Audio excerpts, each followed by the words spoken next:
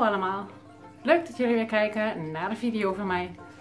Vandaag ga ik eventjes iets doen, namelijk een andere bak regelen voor uh, de wandelende takken. En dan voor de PSG 195. Ik had die wandelende takken in de ronde vaas gedaan. Dat zal ik jullie even laten zien in deze vaas. Dat is heel erg leuk, die vaas. Alleen het glimt heel erg. Dus je ziet er eigenlijk helemaal niks van. Uh, de deksel die erop zit, het klitterband dat gaat steeds los. Dus de deksel ligt er los op. Ik heb daar nu even wat zwaars opgelegd, zodat de deksel blijft zitten. Ik ben een beetje bang dat de poesen die deksel eraf halen. Dus en dan lopen zo meteen die beesten los. En dan gaan de poesen ze vangen. Hartstikke leuk voor de poesen. Maar niet zo leuk voor mij en voor de wandelende takken. Ik vind het een beetje lastig zo om ze te zien, want het glimt heel erg. En uh, ik dacht van, ik ga even op zoek of ik wat anders kan vinden. Ik heb wat gevonden op Marktplaats. Kwam ik een bak tegen, namelijk deze. Leuke bak. Ik zag daar wel wat in. Ik heb hem opgehaald. Er zat heel veel kalk in de bak. Ik dacht, dat krijgt er nooit meer uit. Maar dat heb ik voor elkaar gekregen. Dat heb ik schoon kunnen krijgen. Dat zal ik jullie zo laten zien. En dan even een tip voor zo'n bak. Want als jij nog spullen hebt in huis, zoals ik. Ik had nog een oude camera liggen, die was defect. Twee oude camera's liggen, die waren defect. Alleen mensen konden ze misschien nog gebruiken voor onderdelen. Van één had ik geen lader meer van en de andere die bleef vastzitten. Dus ik heb ze op Marktplaats gezegd, ik heb, gezet. Ik heb ze beide verkocht. Ik kreeg er voor beide kreeg er 10 euro voor. Hartstikke leuk, anders had ik ze naar de kringloop gebracht. Dus ik had 20 euro en ik heb deze bak voor 20 euro kunnen kopen op Marktplaats. Dus zo heb je dan een ruil gedaan en zo hoeft een hobby gewoon niet duur te zijn. Want voor de rest kosten wandelen de takken niks, een beetje aarde en dat was het. Maar je moet dan wel even iets hebben waar ze in kunnen. Nou, de bak heb ik schoongemaakt en het resultaat is echt heel mooi geworden. Ik zal even laten zien hoe schoon het is geworden. Tada! Met azijn heb ik het schoongemaakt, gewoon keukenazijn. Daarmee krijg je vrijwel alle kalk eraf. Die fles, oh die staat hier nog, hij is nu leeg. Gewoon zo'n fles witte azijn. Daar heb ik met een keukenpapiertje even die hele wanden mee ingesmeerd. Daar heb ik heel even laten zitten, even in laten trekken en toen kon ik het er zo afpoetsen. Je kunt ook gewoon met uh, filterwatten dat even schoonmaken. En daarna heb ik hem in de badkamer met de douchekop even heel goed schoongespoeld. Want je moet natuurlijk wel het azijn eraf spoelen. Geen schoonmaakazijn gebruiken, want dat is natuurlijk een schoonmaakmiddel, die is vrij heftig. Dus dat krijg je zo meteen niet meer uit de bak en dan zijn je dieren dood. Dat is niet de bedoeling. Dus de bak is nu helemaal schoon. Ik heb hem even een tijdje laten staan. Dan zat hier verlichting in. Die heb ik eruit gehaald, want die lamp is gewoon veel te sterk. Dan wordt het hartstikke heet in die bak. En er zat hier een uh, voederklepje. Die heb ik er ook uitgehaald. Aan de andere kant heb ik met lijm en met tape. Ik weet niet of je het kunt zien zit horrorgaas voor. Ik heb daar een beetje lijm op gedaan, zodat het blijft zitten hier zo. En ik heb het vastgeplakt met deze tape, duct tape. Dus de deksel is zo geworden. Hier zit gaas, hier zit gaas, genoeg ventilatie. En dan kan die deksel erop. En als die er dan op zit, dan is dit het resultaat van de hele bak. Nou, hartstikke mooi. Dus we gaan hier aarde in doen. En de plantjes in zetten. En dan kunnen de wandelende takken hierin. En dan kan ik ze gewoon veel beter zien. Het is ook een veel heldere bak. En omdat hij rechte kanten heeft. Kijk, het glimt ook nog wel. Maar dan kun je tenminste wat zien. Dus als het rond is, dan uh, krijg je een hele weerspiegeling over die hele bak. En ik zie ze dan gewoon niet zitten. Dan moet ik gewoon echt met mijn neus op die bak om ze te zoeken. Nou, het is natuurlijk wel de bedoeling dat als dat zo staat, dat je zo kunt zien zitten. Dus dat ga ik even in orde maken. En uh, dan laat ik jullie even zien hoe ik dat doe. Um, ik heb nog van die kokosaarde. Nou moet ik er even bij zeggen dat ik dus die kokosaarde, weet je die blokken die je dan op kunt lossen in het water, deze. Daar heb ik nog een heel stuk van. Die nemen heel erg veel vocht op. Die zijn gewoon ideaal voor het terrarium. Dus, en dan dus voor de slakken is dat mooi, want dan blijft het goed vochtig. Alleen uh, in zo'n kleine bak is het wel vrij nat. Dus de grond, als je dan ook af en toe moet sprayen, de grond blijft zo nat. Dus ik vind het te nat in de, bak. Dus wat ik dan nu doe, is dit mengen met zand. Ik heb hier nog een hele zak zand. Dat is gewoon aquariumzand. Dat is gewoon schoon, goed zand. Ik ga dat dan mengen, want ze hebben gewoon een laagje nodig waar ze de eieren in kunnen leggen. En iets wat een beetje vocht vasthoudt. Dus ik had bedacht dat als ik dat ga mengen met elkaar, dan houdt het en vocht vast, maar het wordt niet meteen zo nat. En het is gewoon wat zachter, wat makkelijker om eitjes in te leggen. Want de vrouwtjes van de PSG 195, die leggen de eitjes in het zand met hun legboor. Het zit aan de achterkant, het lijkt een beetje op een angel, dat is het absoluut niet. Die, leggen ze dan, die steken ze dan in de grond en dan leggen ze de eitjes in de grond. Dus dat moet voor die beesten ook wel makkelijk uh, te doen zijn. Dus ik ga dit met elkaar mengen. En dat gebruik ik dan als bodem. En dan zet ik de andere dingetjes, want ik heb pas nieuwe plantjes erin gezet. Die kan ik gewoon overzetten in de bak. Zal ik zo meteen laten zien hoe ik dat heb gedaan met de plantjes. En dan uh, ben ik benieuwd naar het eindresultaat. Ik denk dat het heel erg mooi wordt en gewoon ook veel duidelijker. Dus ik ga aan de slag. Ik ga het nu eerst mengen. Ik gebruik daar maar even een emmertje voor. Dan doe ik het eventjes eh, in etappes. Gewoon in een paar keer even mengen. En dan kan ik even voelen wat ik ervan vind van het zand. Haal hier even wat vanaf. Zo, dit is nog helemaal vochtig. Ik heb het eventjes uh, twee dagen laten staan. Dan kan even het ergste nat eruit. Maar het is gewoon nog nat. Dus als het uitknijpt, dan komt er gewoon nog water uit. Dus dat houdt gewoon heel erg goed vocht vast. Zo, dan giet ik daar even wat zand bij. Een lekkere laag. En dan ga ik dit eerst eens even mengen. Dan ben ik benieuwd hoe het dan aanvoelt. Ja, dat is geen kattenbak. Je moet ook altijd overal bij zijn, hè. Ja, dat is altijd zo gezellig van Sjoerd. Dus Sjoerd die vindt het altijd hartstikke leuk om zich overal mee te bemoeien. Nou, kijk, want zo wordt het zand zelfs al een beetje vochtig. Dus ik denk dat dit wel goed werkt. Dus ik heb er gewoon, die kokos die houdt wat vocht vast. En het zand maakt het gewoon wat zachter. Je krijgt ook een iets lichtere kleur bodem dan. Ik denk dat ik dan wel een goede ondergrond heb. Het voelt wel goed aan. Ik zal dat eerst eens even als laagje, eerste laagje erin doen. Het emmertje past ook mooi. Om eieren te kunnen leggen moet hij uh, wel ongeveer zo'n centimeter of vijf dik zijn die rand, heb ik gelezen. Ik heb het even opgezocht natuurlijk, want ik weet natuurlijk ook niet alles. Nou, ik denk dat dit een mooie ondergrond wordt. Hm, ook even een nieuwe laag.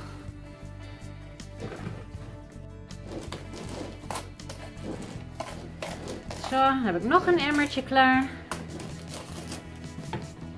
Nou, dan heb ik toch al een flinke laag.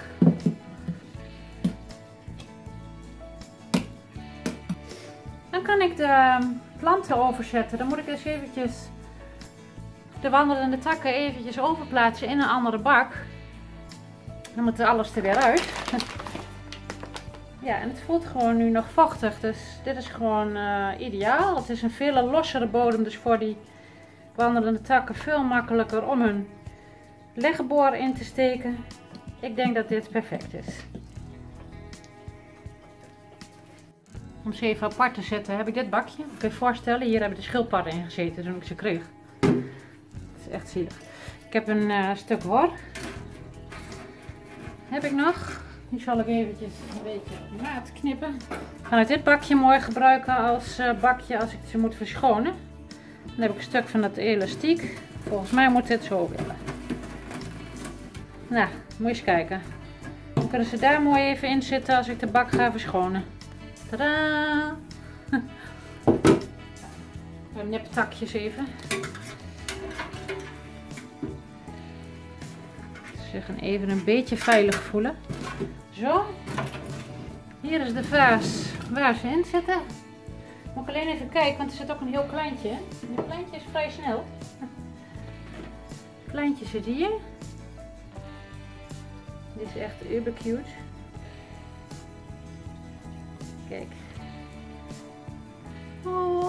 Leuk. Ja, ik zet je even op een nepplantje. Dat is natuurlijk niks aan. Nee, niet aan mijn hand blijven hangen. Je moet er juist even in. dus even met een takje opgepakt. Alleen dus bij die ene Kijk, dat mannetje dat is van het vrouwtje afgelopen.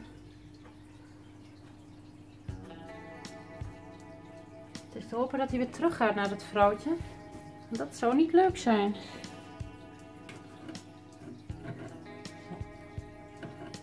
Die grote kan hier niet zo groot tussendoor, een kleintje wel. Gaat hij wel weer naar haar toe? Jawel toch? Hij hangt nou aan haar buik. Nou, hij zal vast alweer op haar rug gaan zitten.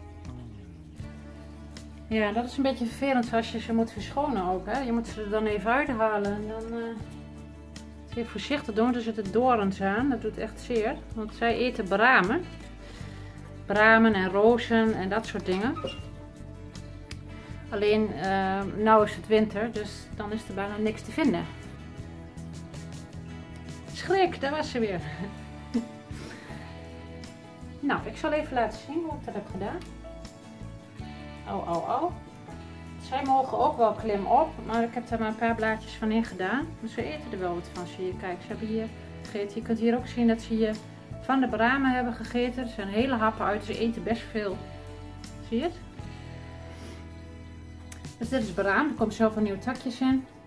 Ik heb het dan in een pot gezet met een deksel erop. En het deksel uh, een paar gaatjes geprikt en daar de takken in gestoken. Zodat ze niet in het water kunnen vallen. Want als ze in het water terechtkomen, dan kunnen ze verdrinken. Dus dan dat zeker met hele kleine uh, wandelende takjes met babytjes zo. Dat je er even goed op moet letten. Maar deze hele pot, die moet dus in de nieuwe bak. Ik ga deze even opschuiven. Even de nieuwe bak erbij pakken. Beetje zwaar. Interessant hè. En dan uh, ga ik deze in de nieuwe bak zetten. Even een gaatje graven in de aarde. Dan zet ik die in de nieuwe bak. Zat die vast in mijn trui. Auw. Auw, stekels precies. Ik ga het niet aanstellen hoor, dat is echt niet fijn. Stekels. Je moet ook zorgen voor een paar hoge takken, want wandelende takken, zeker als ze klein zijn, die gaan vervellen. Dus de hoogte van de bak die moet genoeg zijn dat ze kunnen hangen en het hele vel uh, los kunnen laten. Als de bak veel te klein is, dan krijgen de dieren vergroeien.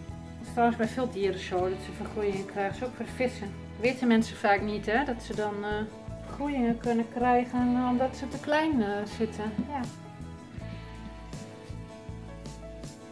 Nou, jullie zien nu niet wat ik doe, dat is dan een beetje jammer. Oh, het mannetje is eraf gegaan. Oh, daar baal ik van. Maximale opnametijd bereikt ze gewoon heel verhaal op hakken. Was ook niet interessant. Ik heb even een stukje van de tak afgehaald en die zet ik dan voorin. Een soort bruggetje maak ik dan, dan kunnen ze daar overheen lopen. Dus je moet ze ook de gelegenheid geven dat ze kunnen klimmen. Hè? Dus tegen een gladde pot op kunnen ze niet uh, klimmen. Nou, ik denk dat het zo goed is. Ik zal even kijken of ik kan laten zien. Kijk, het wel mooi. Zie je, die pot staat erin. Heb ik iets uh, ingegraven. Tak aan de voorkant en ze klimmen. En zo heb je een mooie soort van etalage. Ik zal de takjes er even in zetten. Want je hebt daar je mannetje. Hier. Zo'n mannetje. Je moet even op elkaar gaan zitten.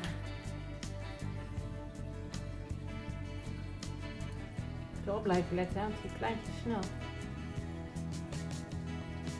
Oh je, zie, ik kruip me er al uit. Dat mag niet uitkruipen. Ja, zet ze een nieuwe bak. Deze die kruipt even van het nepplantje af. Ik zet deze nog even bij elkaar, omdat ik hoop dat het mannetje weer op die rug gaat zitten van het vrouwtje. Please, ga gewoon weer terug naar haar.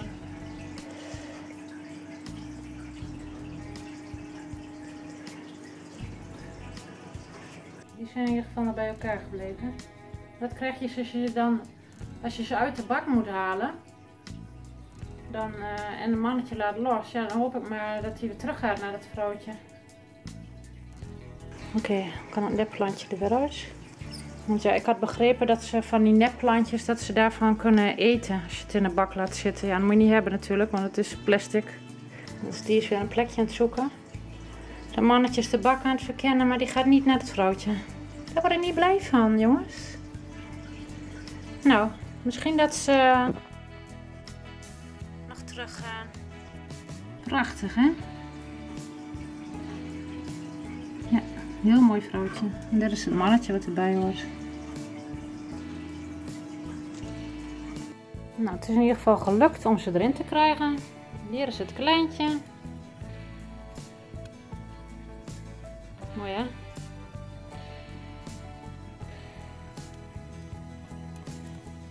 Hier is het vrouwtje en daar het mannetje wat erbij hoort. Dus ik hoop dat die elkaar wel weer gaan vinden. Het is echt vervelend dit. Deze die zit nog wel op elkaar. Dus ik hoop echt dat ze wel weer bij elkaar komen. Ik ga de deksel erop doen. Er zit nog een hele ruimte tussen. Hè? Dus ik denk dat ik hier wel even een scharniertje nog op maak. Dan kan het deksel dicht. Dan ziet het er zo uit. Voldoende ventilatie. Niet te veel, niet te weinig. En dan uh, is het zo'n bakje geworden. Dat is wel veel duidelijker om in te kijken, zie je het? Ik zal hem even op de plek zetten.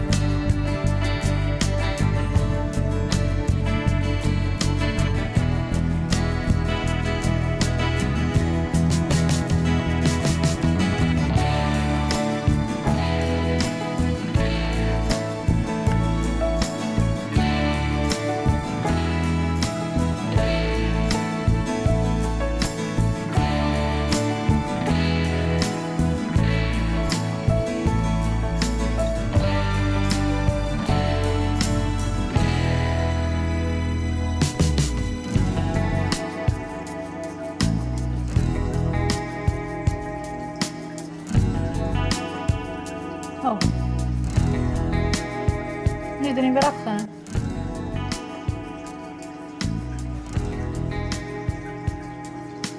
Huh?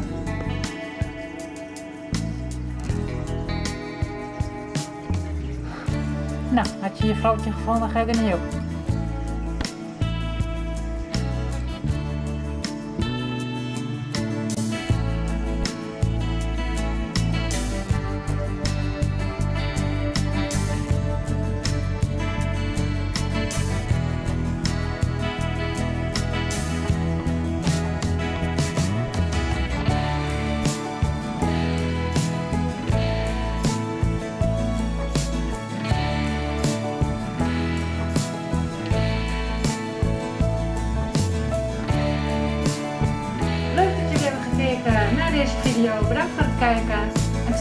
naar deze video.